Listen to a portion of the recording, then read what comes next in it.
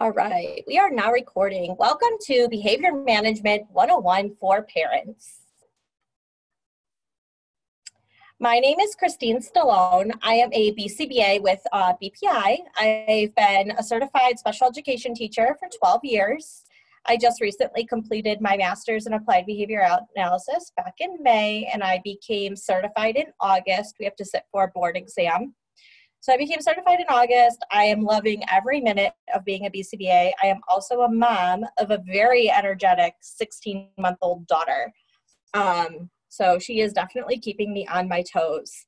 So I have a poll that I'm going to go ahead and pop up on your screen. If you could answer the question, it's just how old are your children? If you have multiple children in different age ranges, you can select multiple different ages.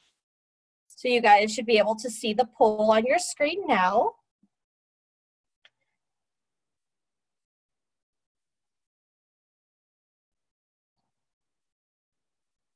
All right, I'm gonna go ahead and end polling in about 10 seconds. Oh, so we have a seven to 10 year old, a 10 to 15 year old, and an adult child. That is awesome. Do we see any more popping in? Wow, so all older kids on this presentation. Mine is very, very young. So awesome. So I'll go ahead and share the results with you guys. So now you can see the poll results. All right, let me go ahead and stop sharing. Perfect.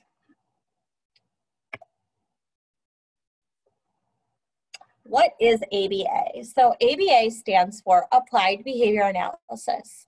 It is the study of behavior. Applied is means that it's socially and developmentally significant. Behavior is everything that people do, including the way we act, what we say, think, and feel. An analysis means that we use effective research based interventions to guide our decisions when we're developing programming. So does the environment affect our behavior?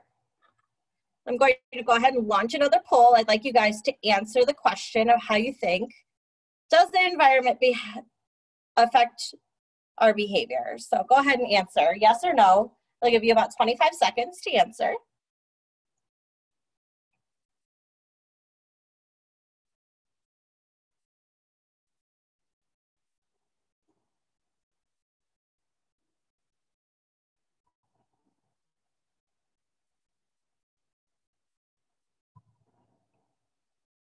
Ooh, results are in, and both of you think that the environment does affect our behavior. So let's see. And you're right, of course it does. Some common examples of this is the room temperature. So if it's really cold in a room, what do you do? You go and you grab a jacket. If you're hot, you take some layers off. Another example would be the seatbelt warning in your car. So you're driving down the road and all of a sudden you hear that ding, ding, ding, ding, and it signals you to change your behavior and put your seatbelt on unless you're like me and ignore that ding, ding, ding, and it just becomes background noise and then your husband yells at you. um, the next one is that how we drive in the presence of a police officer. You see it happen immediately. Your hands are 10 and 2. You're looking straight ahead. You're making sure your cell phone's nowhere near you. So the environment does change our behavior because of the contingencies that are in place. All right, so why are we all here? My kid is misbehaving. Help! Don't worry, it's not just your kid. All kids engage in problem behaviors at some point in time in their lives. Challenging behavior, however, it may, it may appear, is a form of communication. It's just not in the most pleasant manner. So, what are some of the ways that your kids misbehave? Just throw out a couple examples.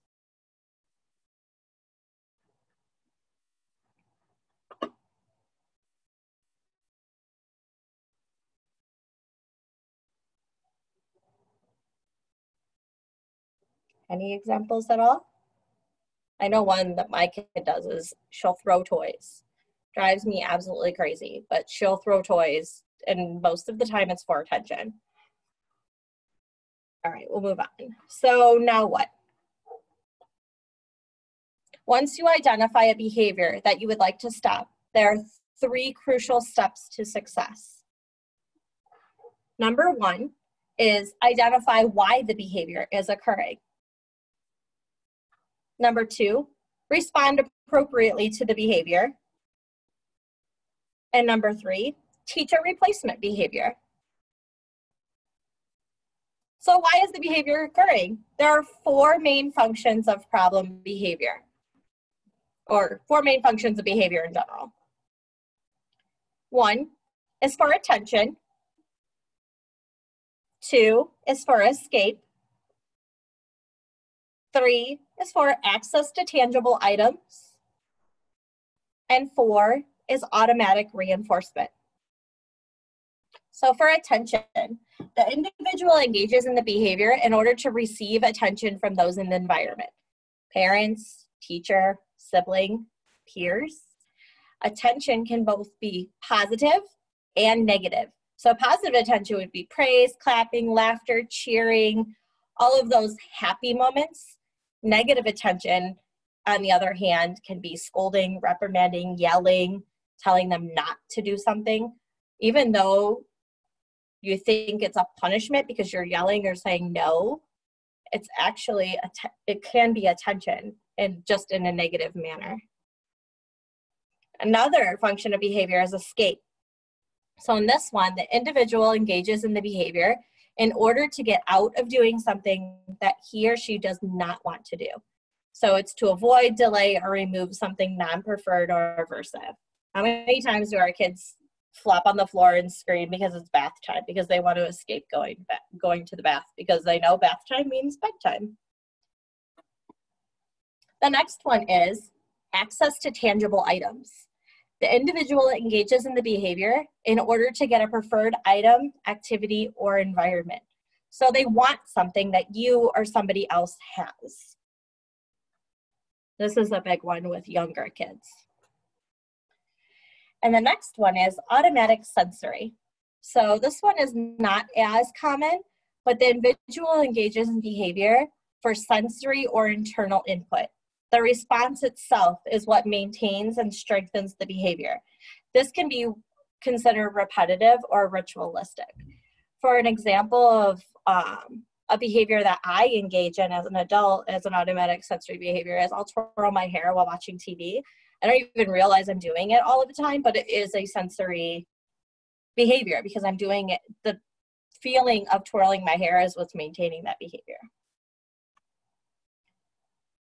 So here's a functional example, and then I'm going to release a poll, um, and I want you to try to guess what the function of this behavior is. So here's the antecedent. So an antecedent is what happens before the behavior. A consequence is what happens after the behavior. So this is what we call ABC collection, antecedent, behavior, consequence. So the antecedent is Sarah sees her brother playing with the iPad. Sarah cries and hits her brother. The consequence was parents give Sarah their iPhone instead. What do you think is the function of this behavior? Going to go ahead and release this one. We'll launch the poll. Got about 20 seconds to respond.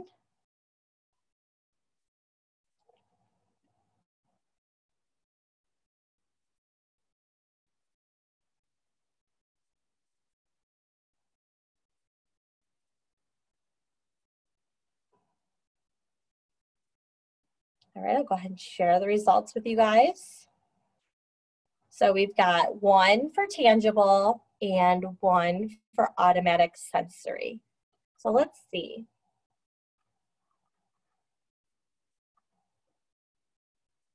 The antecedent was Sarah wanted something. The consequence was she was given a tangible item. So the function of this behavior would be tangible. So a more appropriate way to handle this behavior we'll go over right now. Let me see if I can move this little black bar all the way. I don't know if this moves. Sorry, guys. Nope, it's it. Well, a better way to handle that behavior would be to uh, prompt appropriate communication.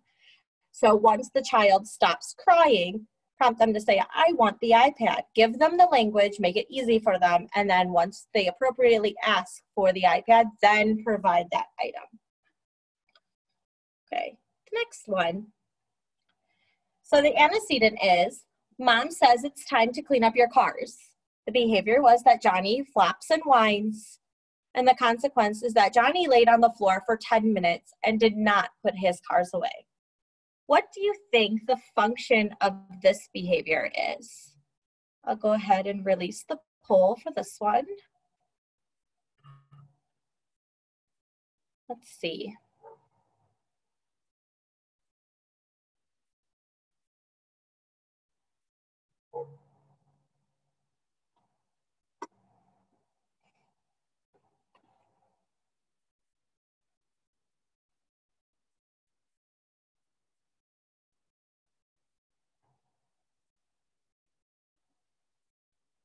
All right, let's show the results. And it looks like both of you on this training said that escape was the function. Let's check it out. Let's stop sharing the results. All right, functional examples. So what was the antecedent was that there was a demand in place. Mom said, hey, you need to go clean. And the consequence was he escaped the demand. So essentially he escaped so that was the function. Good job, guys. So a more appropriate way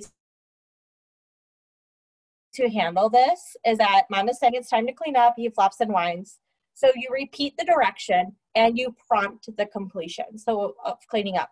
So what this might look like is that you might be helping Johnny clean up the toys, hand over hand, you taking his hands and helping him clean up through the problem. He might be screaming and crying the whole time, but you're actually physically having him clean up. So he's not escaping that behavior.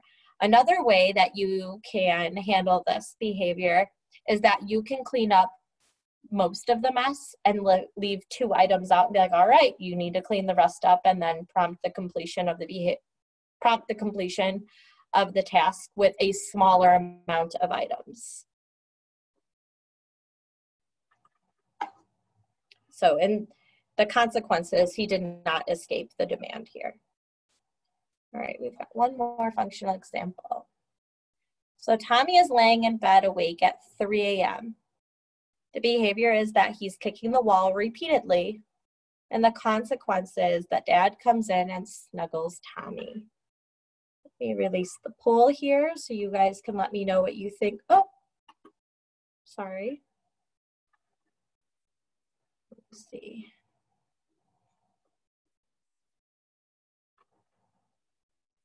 What do you think the function of this child's behavior is?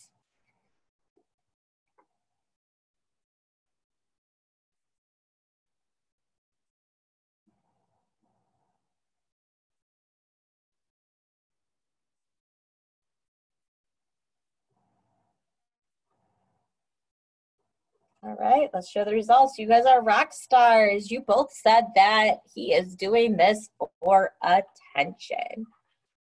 Stop the share. So yes, you're right. So there was attention deprivation. He was in bed, he was alone, and essentially by him kicking the wall repeatedly, he gained access to attention. So a more appropriate way to handle this would be ignoring it and then he goes back to sleep. So there's no attention given there. So the behavior of kicking the wall repeatedly does not gain access to adult attention. So we want to teach him appropriate ways to get adult attention. So let me go back one more. I have a little quiz for you guys. So I have a short quiz and it's just, can you tell me what the four functions of behavior are. I'm going to launch it. You select the four functions.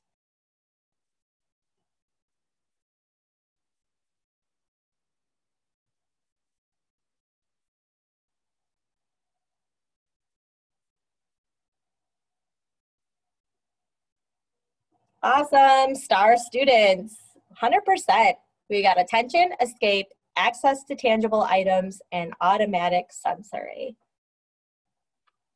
Good, now let's go in. Now let me know the functions of behavior, let's go in and we're going to talk about some strategies to use. So when you're dealing with behavior at home, think about the ABCs. What happened before, what was the behavior, and what happened after. Once you can determine the function of the, your child's behavior is when you can start to think of strategies for how to handle that behavior. So here are some function-based strategies for attention-maintained behavior.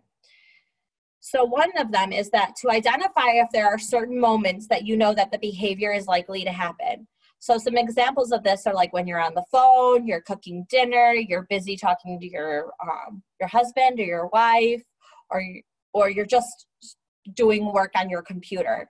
Now that a lot of people are working from home, attention is not freely given to children at home. So what you can do is you can provide free attention ahead of these moments. So for example, if you're about ready to cook dinner in 10 minutes and you know you're going to need a solid 30 minutes to prepare the food to put it up in the crock pot, spend that 10 minutes that you have before you need to start cooking giving your child a lot of free attention. By giving them all of that free attention, it's something that we call satiation so they're going to get a lot of attention. So they're not going to need it. Their bank is going to be full. And then they're they're less likely to engage in attention maintained behavior because they just had your attention prior to you engaging in the activity that was going to cause the, your attention to be withdrawn. That's one one strategy.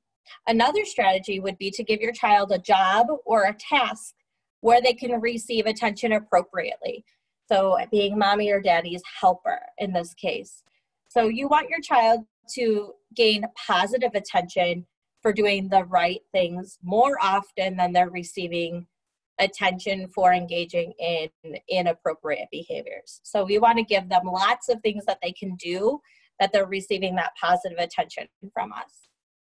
And another strategy, the third strategy I have on here is to teach appropriate ways to gain attention. Again, this ties into the giving them a job or a task. So when you've got the mom, mom, mom, mom, mom, mom, mom, mom to get attention, teach them to tap you on the shoulder or saying, excuse me. And you want to teach this skill prior to them going up to you and going, mom, mom, mom, mom, mom. Because if you try to teach that skill in the middle of that episode of mom, mom, mom, mom, you've just reinforced, I'm going to be super annoying and then I'm going to get mom's attention for an extended period of time because she's now trying to teach me how to not be super annoying. So make sure that you're teaching those occurrences prior to that happening and really reinforcing and giving them positive praise for when they are getting your attention appropriately. And then if they are engaging in those mom, mom, mom, mom, even though it's super hard, ignore that. Don't give your attention to that because once you give in and give your attention, that's now reinforcing that behavior because they gained access to attention. So you want to teach them the appropriate way to get attention. So review expectations and you want to errorlessly prompt your child if needed. So you want to give them ample opportunities to practice the new behavior. Um, does anybody have any questions as of yet? feel like I'm just talking away.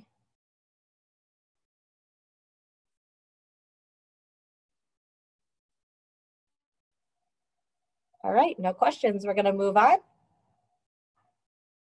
The next function that we're going to go over is escape maintained behavior. So your child is trying to get out of doing something. So one way that you can work on this is that you're using directives, not questions. So instead of asking your child, can you put your shoes away? You tell them instead, put your shoes away. If you use a question and you say, can you put your shoes away? They have the opportunity to tell you no because you're asking them a question. So it would be appropriate for saying, no, I don't want to do that right now because you are asking them, you're not telling them. So, and think of the way that you're verbalizing your statements. Is this something that I want to allow them to not do right now? Or is this something I need them to do? Like I need them to clean up and put their shoes away. So think about the way that you're wording your sentences to your children. The next strategy is using first then statements. So this is what we call grandma's law. So first you do your homework, then you can go outside. So letting them know what they're going to get if they do that non-preferred task. Like, nope, you got to do your homework, but then you get to do this super awesome, awesome thing like go outside. Or some kids are totally into playing video games. So first they need to do something, then they get the reinforcer. So they get the fun activity. The next one is write out or use picture schedules to prepare for difficult tasks or transitions. So you this allows for built-in opportunities for fun or motivation. So a lot of times when we're using this, you could do one fun thing. So always start with something super reinforcing and fun. So do a fun thing and then do something a little bit more challenging, more eh, I don't really want to do this one, but I just did a fun thing. I'm not going to do this thing. But then right after this, I get to do another fun thing. So you alternate fun, work, fun, work. And through this, it can help with difficult tasks or transitions because they have something positive to look forward to. Another strategy we have is to enrich the environment or activity. So you want to make escape less valuable. You want them to want to be there. If escape is more valuable than doing the task, of course they're going to want to get out of it because they don't want to be there. So make it so they want to be there. We have two strategies in ABA. We have a high P sequence and a low P sequence. So low P means low probability sequence. So there's a low probability that your child is going to engage in this behavior. So let me show you what a low P looks like.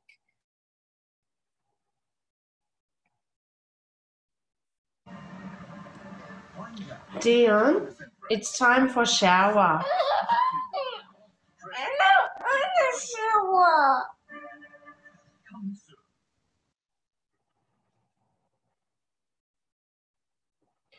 So in that example, she jumped right in and said, hey, let's go take a shower. So she didn't build up the motivation to go take a shower. He just was like, nope, time to go take a shower. And he got, he was naughty. He didn't, he's like, no, I don't want a shower. He was crabby. So that's what we call low probability request sequence.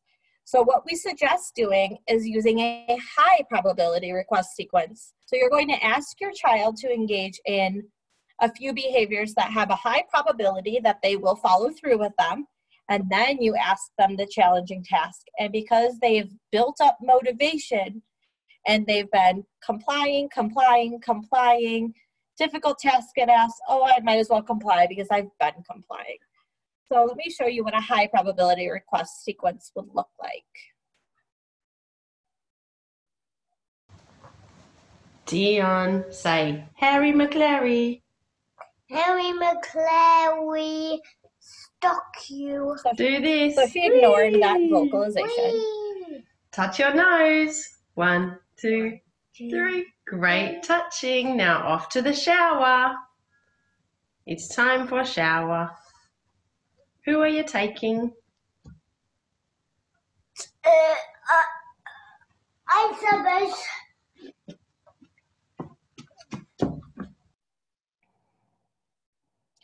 So in that video clip, she started with some very easy tasks like touch your nose, say Harry McClary.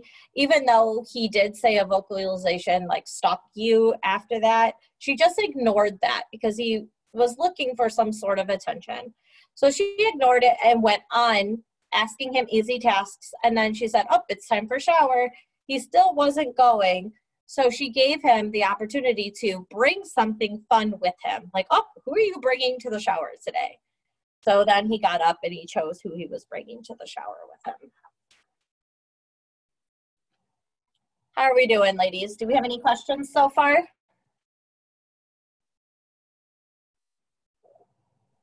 No. Nope. Awesome. Okay, I will move on.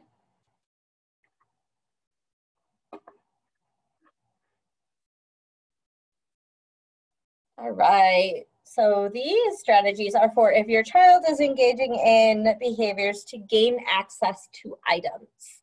So this is what we call tangible. So what one way that you can do that you could treat this is that you could deliver freebies. So this is just free access to preferred items or edibles because some of the children on our spectrum that in our clinics will eat edibles for reinforcement because they have limited access to other reinforcers. So you could deliver freebies and you want to do this at a quicker rate than problem behavior occurs. So if you know that your child is hasn't had access to the iPad all day long and you know it's about 15 minutes before dinner and he's about to lose it because he hasn't had it all day, you can go ahead and give it to him before he has problem behavior as a freebie. Hey, I love the way that you are sitting patiently. Here, here's some iPad time. And by doing this, you are beating them to engaging in problem behavior to gain access to items. So you're building, you can also build motivation and use language to communicate with this too if your child has issues communicating.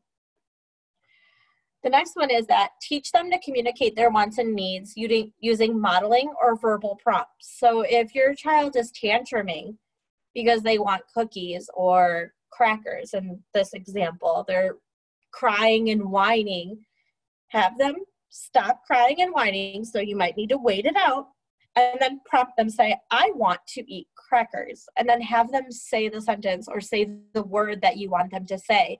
So that way you're reinforcing appropriate communication instead of the whining and the screaming and the crying. Another strategy is to use countdowns to prepare the child for the removal of preferred items. So you can give them warnings like one minute left, 30 seconds left. You can do countdowns, three, two, one, it's my turn. Um, there's even a lot of like free apps on uh, in the app store that you can get with visual timers. So you can actually watch the little timer clock down count down and sometimes that more concrete visual is good for children. Another one is that that we use is uh, promissory reinforcers. So this is when you give them a lesser preferred item to get that high preferred back. So you could trade your child an m&m to get the ipad back all right, it's my turn with the iPad, but you can have this M&M. So you're reinforcing the behavior of them giving the items up appropriately, and then you can fade out giving them that promise reinforcer over time. But if you're having a really hard time getting items back, that's a good way to reinforce the appropriate giving up of reinforcing items. Any questions on tangible yet?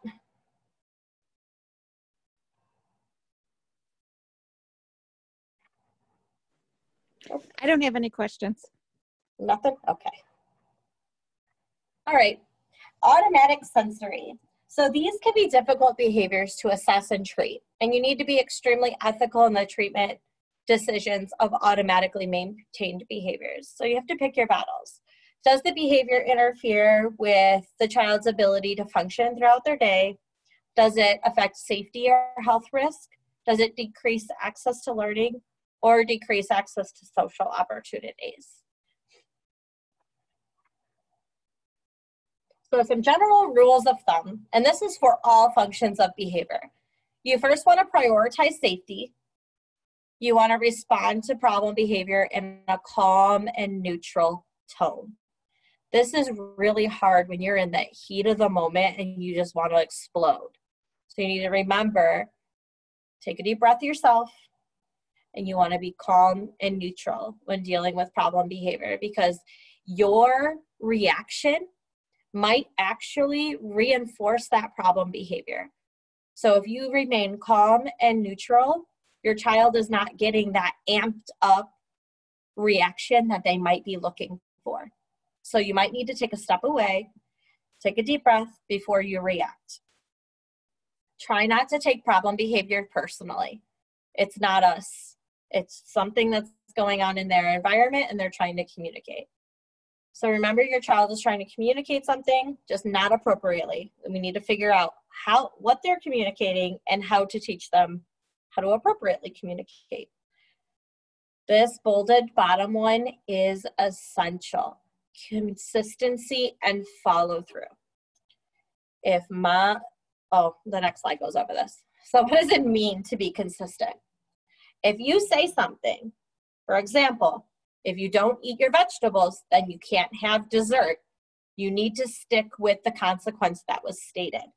If you do not, they're going to know that even though mom says I don't have to eat my vegetables, I'm still going to get dessert like two hours later because mom's going to give in.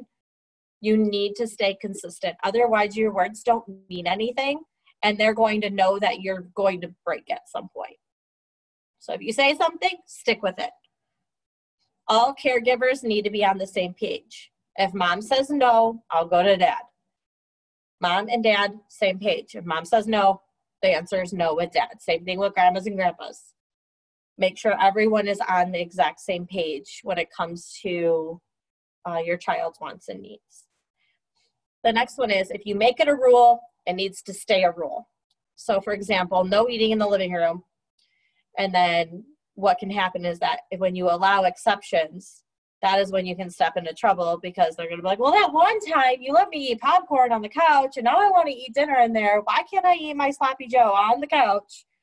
Because I had popcorn in there. And then you're going to get into these battles. So if you make it a rule, keep it a rule. It makes your life easier. Any questions here? No? Okay, move on.